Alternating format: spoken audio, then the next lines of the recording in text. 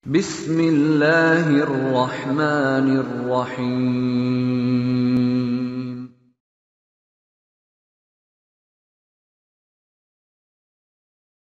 بسم الله الرحمن الرحيم.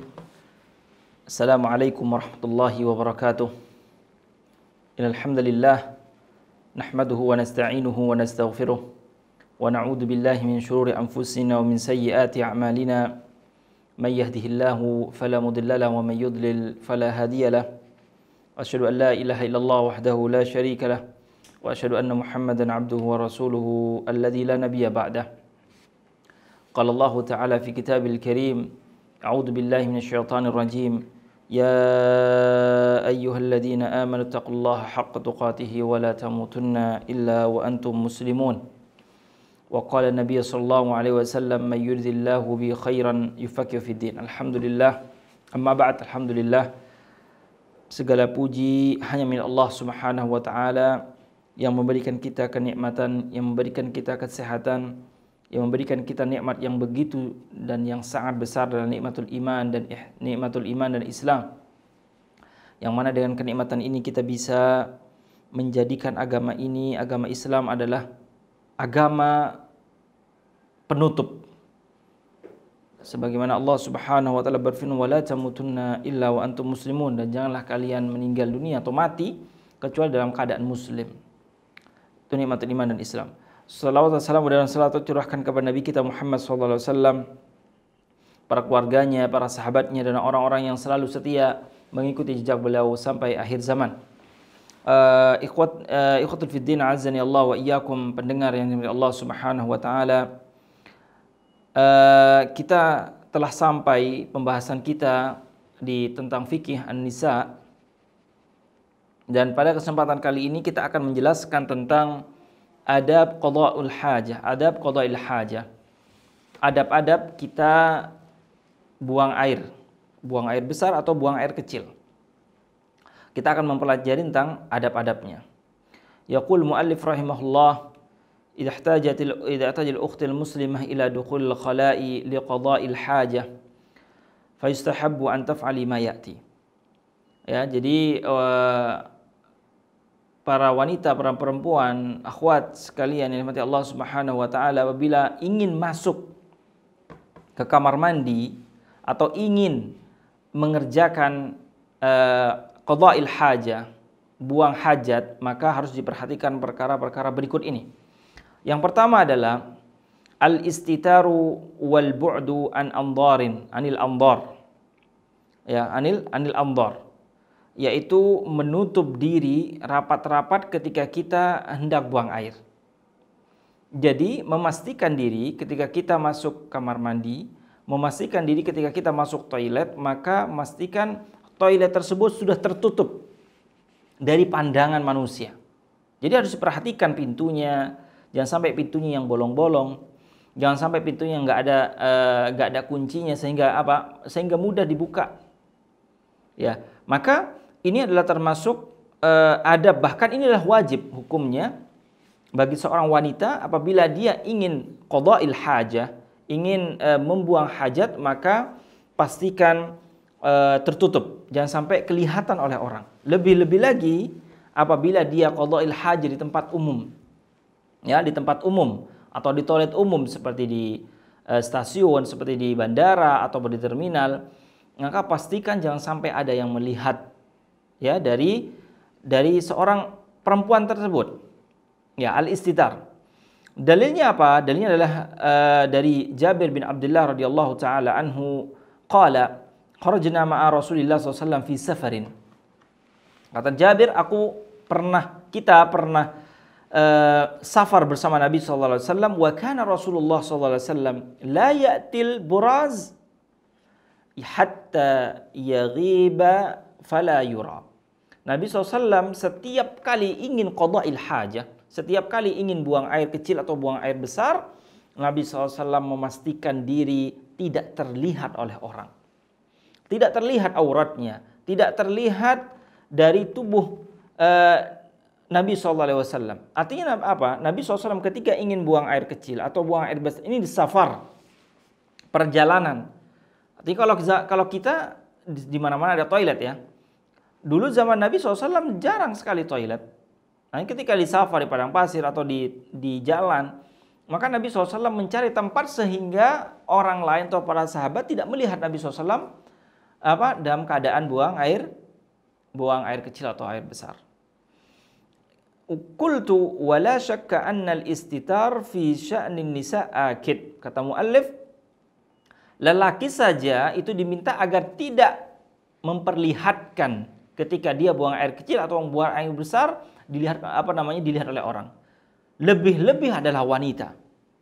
Ya, lebih-lebih adalah wanita. Maka wanita tersebut harus benar-benar memastikan diri ketika dia ingin masuk kamar mandi. Ketika ingin dia uh, qada'il haja, buang air kecil atau buang air besar, pastikan tempatnya tertutup tidak terlihat oleh orang.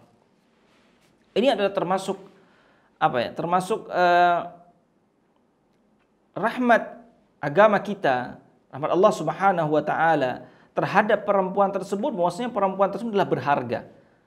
Tidak diperkenankan dilihat auratnya, tidak diperkenankan dilihat sedikit pun dari tubuhnya ketika dia masuk kamar mandi, ketika dia ingin qadail hajah, maka harus memastikan diri tempatnya tertutup.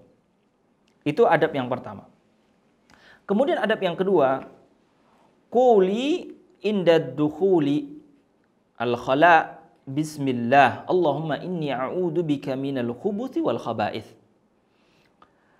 Disunnahkan adab ketika kita ingin masuk kamar mandi, buang uh, qada'il haja, buang hajat, maka ketika hendak masuk kamar mandi maka membaca doa yaitu Allahumma inni Bismillah Allahumma inni a'udzubika minal khubuthi wal khaba'ith. Doa masuk kamar mandi. Doa masuk kamar mandi itu dibaca sebelum dia masuk. Ya, bukan ketika dia sudah di dalam, tidak.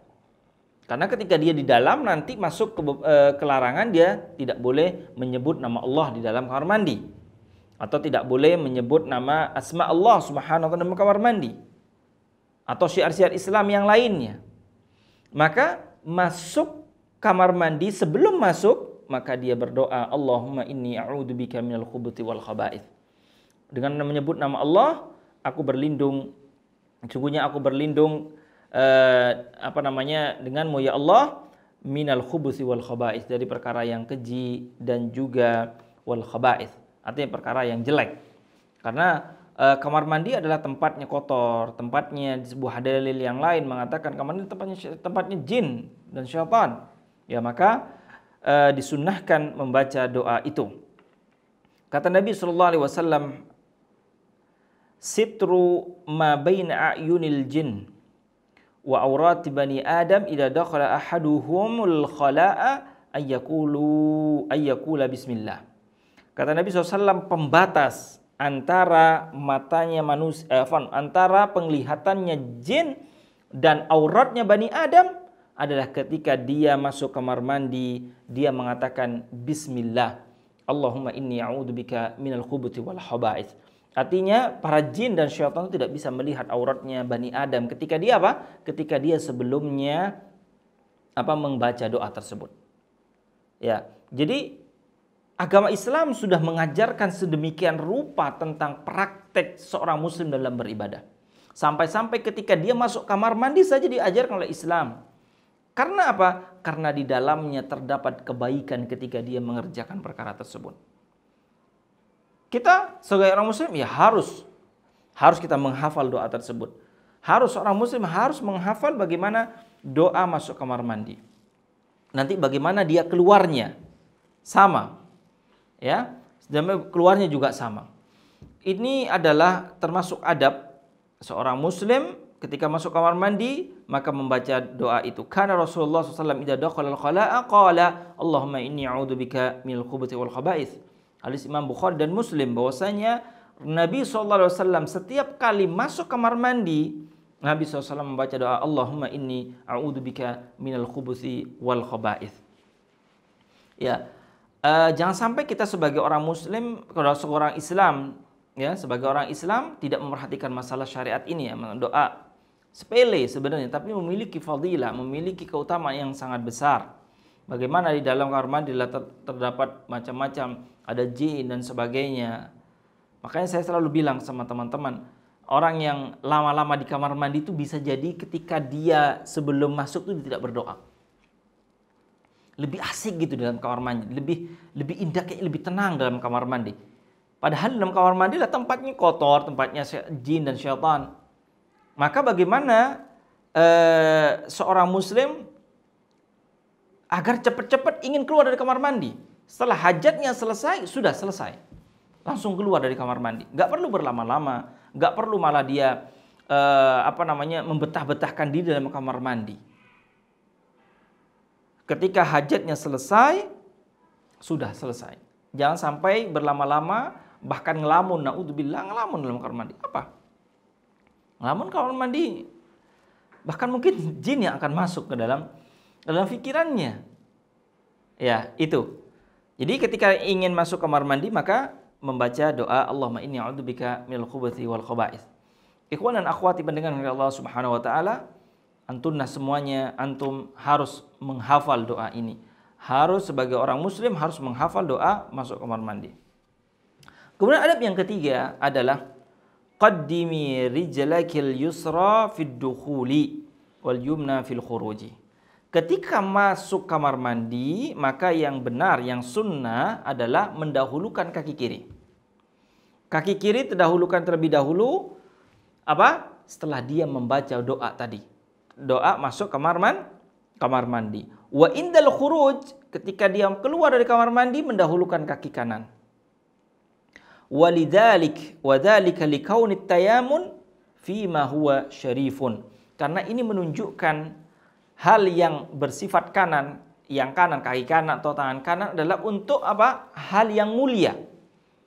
Ya karena ketika dia masuk kamar mandi mendahulukan kaki yang kiri karena kamar mandi tempatnya kotor kamar mandi tempatnya jin dan semuanya dan sebagainya maka didahulukan kaki yang kiri.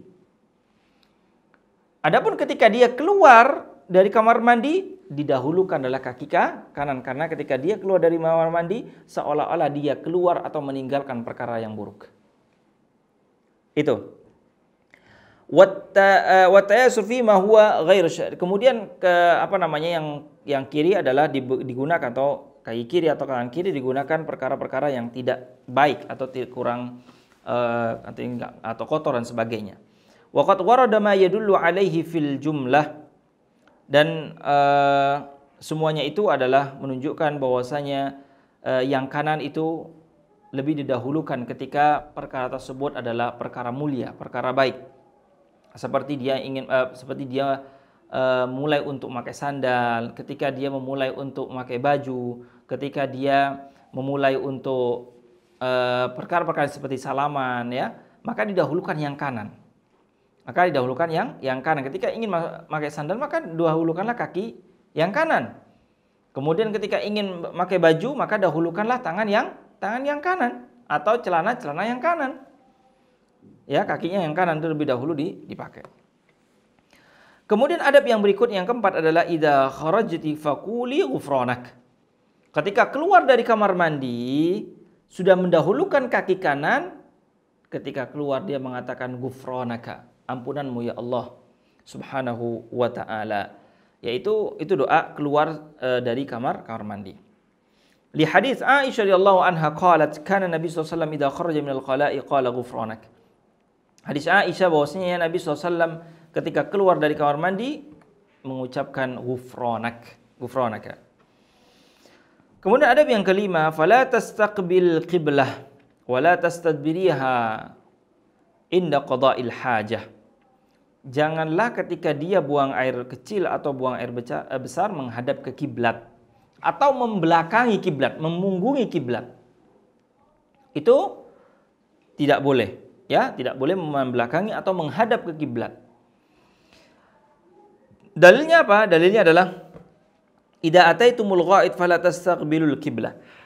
Kata Nabi SAW, ketika ingin hajat atau ketika ingin buang air besar, maka janganlah menghadap ke kiblat wala tastadbiruha dan janganlah membelakangi kiblat walakin syarriku aw gharribu tetapi hadap ke utara atau hadap ke selah ke selatan ya lebih-lebih lagi kalau seandainya dia istinja atau afan dia buang air kecil atau buang air besar di tempat yang yang lapang.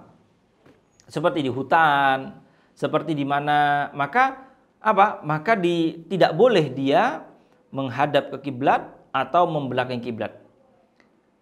Kalau seandainya di gedung atau di uh, di tempat yang tertutup bagaimana Ustadz? Boleh apa enggak? Ya, tidak mengapa. Tetapi yang afdol, yang afdol adalah walaupun di gedung, walaupun di mana, di asrama atau di rumah, maka harus memilih posisi ketika bangun kamar mandi atau ketika membangun WC untuk tidak menghadap atau membelak dan membelakangi kiblat. Itu adalah afdol. Ya. Qala Abu Ayyub, qadimna Syam fawajadna marahila uh, qad buniyat nahwal Ka'bah. Fananharifu anha wa nastaghfirullah taala. Kata Abu Ayyub mengatakan kami datang ke Mekah, eh, kami datang ke Syam dan kami mendapat mendapati semua mir, marahid mirhat adalah WC-WC ini uh, qad buniyat nahwal Ka'bah, menghadap ke Ka'bah. Artinya ketika orang dia duduk untuk buang air besar, dia menghadap ke Ka'bah, menghadap ke kiblat. Fanan harifa anha, kami merubah bangunan tersebut. Kami merubah bangunan WC tersebut. Wa nastaghfirullah. Kemudian kita kemudian kami ber, beristighfar kepada Allah Subhanahu wa taala. Maka yang afdal adalah walaupun sudah di uh, ketika ingin bangun uh, kamar mandi, ketika ingin bangun uh, WC dan sebagainya, maka diusahakan WC tersebut apa? tidak menghadap dan membelakangi kiblat. Atau ketika kita masuk kamar mandi, maka harus diusahakan agar tidak kencing atau buang air besar menghadap dan membelakangi kiblat. Berikut beberapa fasilitas yang ada di Al Wildan International Islamic School, satu Gading Serpong. Gedung Bidar atau Madinah, gedung ini memiliki empat lantai. Gedung ini diperuntukkan untuk unit SMP, SMA full day, dan boarding. Seluruh ruangan kelas dilengkapi dengan papan mading kelas, AC, smart TV, serta meja dan bangku yang sangat representatif. Ruang lab komputer dan lab bahasa yang membuat siswa semangat menguasai teknologi dan bahasa asing. Al-Wildan mengutamakan Al-Quran dalam segala aspek dan Alhamdulillah banyak siswa Al-Wildan yang telah hafiz Al-Quran. Saat ini Al-Wildan memiliki empat cabang yang tersebar di Jakarta, Tangerang, Bekasi, yang muridnya sebanyak 5.000 siswa, dan insya Allah di tahun 2022 nanti akan dibuka 12 cabang di beberapa kota besar di Indonesia. Semoga Allah memudahkan anak-anak kita dalam menghafal Al-Quranul Karim. Amin. Ya Robbal Alamin. Kemudian uh, adab yang berikutnya adalah al-istinja'u bil ma'i wal ahjar al awraq wal ma' afdal. Ya, ketika kita buang air besar atau buang air kecil, maka ini hukumnya wajib. Dia harus membersihkan imma dengan air dan ini yang afdal, membersihkan menyiram dengan air atau dengan batu, tiga batu atau namanya istinja. Ya, afan eh, istijmar. Tapi yang afdal apa? Yang afdal adalah menggunakan batu dan langsung air. Ya, dua-duanya. Tapi yang ahsan maka menggunakan menggunakan air. Ya, menggunakan kanan air. Maka karena apa? Karena beristinja atau membersihkan najis dari tubuh setelah kita kencing, setelah kita uh, buang air besar, hukumnya wajib hukumnya. Bahkan ada ada ada ancaman bagi orang yang tidak bersuci dari dari najis setelah dia kencing atau buang air besar tidak bersih ada ancaman khusus. Yang ancaman tersebut adalah sangat berat. Ya, ancaman tersebut adalah sangat sangat berat. Maka seorang muslim ketika dia ingin beristinja, seorang muslim ketika ingin uh, setelah uh, selesai uh, eh, BAB atau buang air kecil maka wajib dia membersihkan imma dengan batu atau dengan air. Tapi dengan air adalah af afdal ya lafdal. Kemudian adab yang berikutnya adalah fala tastajmiri atau tastanji bi uh, bil al bil admi war raus. Tidak boleh atau bahkan menjadi haram hukumnya kita beristinja atau beristijmar menggunakan uh, tulang hewan dan juga kotoran he kotoran hewan, kotoran hewan yang kering ya. Kalau yang basah jelas ya, jelas najis dia. Artinya dia membersihkan uh, kotoran tersebut atau air kencing tersebut dengan apa? Dengan tulang. Itu tidak boleh. Haram hukumnya kita membersihkan dengan tulang dan juga kotoran hewan yang sudah kering. Dalilnya apa? Nah Nabi SAW ayyusmaha bi'adhamin au bi'bar. Nabi SAW melarang untuk membersihkan najis dengan tulang dan kotoran hewan. Kemudian yang berikutnya adalah la tamassil farj uh, la tamassil farja bil yamini wa la tastanji biha. Janganlah memegang kemaluan atau membersihkan uh, najis yang ada di kemaluan menggunakan tangan kanan. Enggak boleh. Ya, memegang kemaluan saja dengan menggunakan tangan kanan adalah dilarang. Apalagi dia apa? membersihkan kemaluan dengan tangan kanan. Gak boleh karena tangan kanan adalah dipergunakan untuk hal-hal yang mulia. Memegang Al-Qur'an, bersalaman. Kemudian eh, apa? menulis dan sebagainya. Dipakai untuk hal-hal yang mulia, maka jangan dipakai untuk hal-hal yang di selain itu atau lawan lawan dari itu.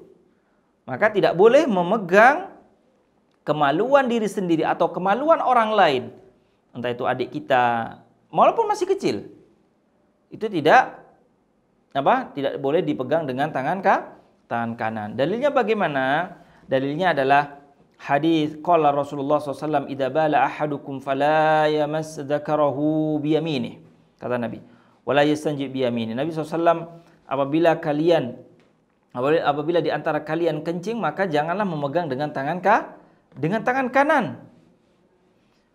Dan juga ketika dia e, membersihkan atau bahasa gampang adalah ketika kita cewok. Jangan menggunakan tangan kanan. Maka menggunakan tangan ki, tangan kiri. Itu. Wa hukmul mar'ah wa hukmu massil mar'ah farjaha biyami ka hukmi massil rajul dzakara. Ya, hukum mem, e, perempuan memegang kemaluannya itu sama hukumnya laki-laki memegang kemaluannya dengan tangan kanan. Tidak boleh. Ya, tidak boleh memegang kemaluan dengan tangan tangan kanan. Kemudian yang berikutnya, adab yang berikut yang kesembilan adalah la yajuzu taqal atau qada'il haja fi tariqin nas au fi dhillihim. Tidak boleh kita uh, buang hajat ya, buang hajat di di jalannya tempat uh, tempat berkumpulnya orang atau jalannya mereka. Ya. Maksudnya tempat kumpulnya orang apa? Adalah kita tahu tempat itu adalah e, tempat yang mana orang sering kumpul di sana. Atau di bawah pohon yang mana orang itu sering berteduh di sana. Sering nongkrong di sana, sering e, kumpul-kumpul di sana di, di bawah pohon yang teduh atau di tempat e, orang yang biasa kumpul atau juga di jalannya orang yang orang sering lalu lalang di, di jalan tersebut, maka kita tidak boleh apa buang air di sana. Kencing apalagi buang air besar haram hukumnya, tidak boleh. Dalilnya apa? Dalilnya adalah hadis Nabi SAW dari Abi Hurairah radhiyallahu taala an. Qala Nabi SAW bersabda. Ini adalah uh, ancaman. Ittaqul la'inaini. Hati-hatilah dengan dua perkara yang dilaknat oleh Allah Subhanahu wa taala. Qalu para sahabat berkata, "Wa man la'inani ya Rasulullah?" Apa dua perkara yang dilaknat wahai Rasul? Qala alladhi yatakhalla fi tariqin nas aw fi dhillihim. Adalah orang yang mana dia buang air atau buang hajat di jalannya manusia dan juga di tempat yang mana manusia suka berteduh di sana. Nah, jadi kita harus lihat nih zaman sekarang banyak sekali kaum muslimin, sebagian kaum muslim mungkin nggak ngerti ya. Dia kencing di trotoar, dia kencing di pojokan jalan, kadang dia kencing di tempat yang mana halte, tempat orang berhenti, tempat orang berteduh dan sebagainya haram. Tidak boleh kita tidak uh, tidak boleh kita mengerjakan tersebut. Kalau seandainya tahu, maka dia akan terjerumus perkara yang haram. Maka akan masuk dia di dalil ini adalah dia dilaknat oleh Allah Subhanahu wa taala. Maka pendengar yang Allah Subhanahu wa taala apabila ada keluarga, kerabat, adik, saudara semuanya sampaikan perkara ini adalah bukan perkara yang main-main ya bukan main-main karena akan mengganggu orang lain belum lagi kalau seandainya orang lain tersebut berdoa yang tidak-tidak. Berdoa yang memiliki hak yang sama ketika menggunakan jalan. Dia memiliki hak yang sama ketika dia menggunakan fasilitas umum. Maka jangan dirusak, apalagi sampai dirusak dengan kita buang air di sana yang mengganggu aroma dan sebagainya. Itu harus kita pahami. Kemudian adab yang berikutnya la yajusul baul fil ma'ir raqid allati alladhi la yajri. Tidak boleh kita bersu apa, uh, kencing di tempat atau di air yang menggenang yang nggak ngalir. Itu nggak boleh. Itu masuk juga perkara yang haram. Kita kencing di tempat yang airnya tidak mengalir. Kolam Ustaz, kolamnya kecil. Tapi kencing di situ, itu nggak boleh. Kalau kolamnya besar, maka tidak mengapa. Ya, tapi kalau kolamnya e, kecil, maka tidak maka tidak boleh. Ya, maka tidak boleh. Kata Nabi SAW, Fa'an Jabir, anna Nabi SAW, naha ayyabula fil ma'ir raqid. Nabi SAW melarang seorang kencing di air yang yang menggenang, yang nggak ngalir. Itu nggak boleh. Kemudian adab yang berikutnya adalah fala tastashibi asna at-takhalla fi ma fih min dzikrillah. Ketika kita kencing atau ketika kita buang air besar, maka kita tidak boleh ya, kita tidak boleh menyebut nama Allah Subhanahu wa taala tidak boleh kita membaca Al-Quran dengan hafalannya, tidak boleh kita sambil membaca hadis, tidak boleh kita uh, mem, artinya membaca atau menyebutkan syiar-syiar Islam itu nggak boleh. Nah, ketika kita lagi kencing, kita lagi apa? Ah, sambil nunggu Ustaz, ah, sambil murajaah Al-Quran aja nggak, nggak boleh, haram. Sambil nunggu atau sambil hafalan hadis tidak boleh. Ya, Kata Allah Subhanahu wa taala dalam Al-Qur'an, "A'udzu billahi minasyaitonir rajim wa may yu'azzim sya'airallah fa innaha min taqwal qulub. Ya bang, siapa dia memuliakan syiar-syiar Islam? Karena Al-Quran adalah syiar Islam, zikir syiar Islam, adzan syiar Islam, hadis adalah syiar Islam. Maka tidak boleh dia me membaca atau menyebutkan syiar-syiar Islam itu di tempat yang kotor seperti di di kamar mandi. Wa may yu'azzim Allah fa innaha min taqwal qulub. Siapa dia mengagungkan syiar-syiar Islam, maka dengan itu dia adalah orang yang paling bertakwa hatinya. Kemudian uh, adab yang berikutnya adalah wala tatakallami. Ketika dia qada'il haja, buang air besar disunnahkan jangan banyak omong dalam kamar mandi. Jangan banyak omong, diam sudah. Sudah fokus sama pekerjaan yang sekarang. Jangan fokus sama yang lain. Sambil fokus sama yang lain sambil ngobrol, apalagi kalau kamar mandinya sebelahan. Enggak perlu. Maka masuk ke larangan tidak boleh, bahkan makruh hukumnya dia sambil ngobrol, sambil apalagi sambil teriak-teriak, lebih-lebih lagi sambil nyanyi dalam kamar mandi. Naudzubillah. Nyanyi dalam kamar mandi coba. Yang mana sudah dalamnya tempatnya jin dan syaitan, malah dipakai nyanyi. Udah kalau nggak nyanyi paling sudah ketika masuk udah nggak nggak baca doa. Bicara saja dilarang yang tidak ada manfaatnya. Apalagi dia ngobrol yang yang yang yang apa namanya yang lain. Ya, ngobrol yang lain. Sudah selesaikan dulu hajatnya, setelah itu selesai kamar mandi, udah. Apa yang mau diomongkan, omongkan.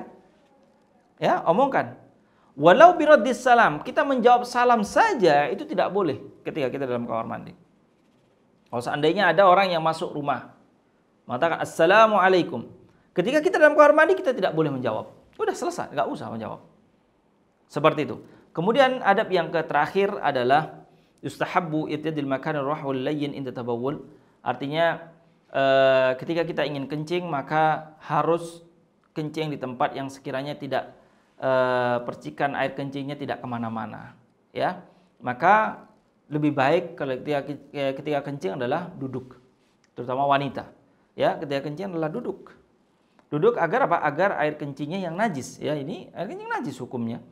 Tidak terkenal bajunya, tidak terkena badannya dan sebagainya, maka harus e, dalam keadaan yang tenang dan juga e, duduk. Jangan sambil berdiri ya, karena ketika ketika dia kencing berdiri maka akan e, terkena ke sana kemari. Ya, begitu juga dengan laki-laki. Ya, jangan laki-laki juga harus berhati-hati. Apalagi zaman sekarang adalah e, tempat kencing itu sudah seperti e, apa ya? eh, sangat mudah sekali berkencing sambil berdiri itu sudah anu. Tapi kalau memang dia bisa memastikan air kencingnya tidak ter, terkena celananya, maka tidak mengapa. Tapi kalau seandainya dia terkena celana, kemudian dia pakai sholat, maka sholatnya tidak sah. Maka sholatnya tidak tidak sah. Dengan seperti ini kita harus hati-hati sendiri dan jangan sampai kita eh, apa namanya sholat dalam keadaan kita terkena najis karena dengan seperti itu sholatnya tidak tidak sah. Barakallahu fikum. Uh, mungkin ini yang dapat saya sampaikan pada pertemuan berikutnya. Berikut ini, insya Allah uh, pada pertemuan berikutnya kita akan menjelaskan di eh, bab-bab uh, yang lain. Kita tutup dengan doa kafatul majlis. Subhanakallahumma bihamdika asyhadu an la ilaha illa anta astaghfiruka wa atubu ilaik. Assalamualaikum warahmatullahi wabarakatuh. أعوذ بالله من الشيطان الرجيم. بسم الله الرحمن الرحيم. عينا يشرب بها عباد الله يفجرونها تفجيرا.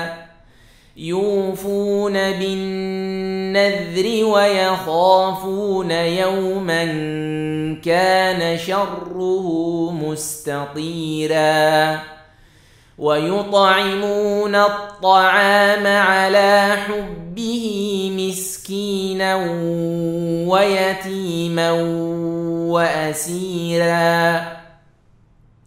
ويطعمون الطعام على حبه مسكينا ويتيما وأسيرا. إنما نطعمكم لوجه الله. لا نريد منكم جزاء ولا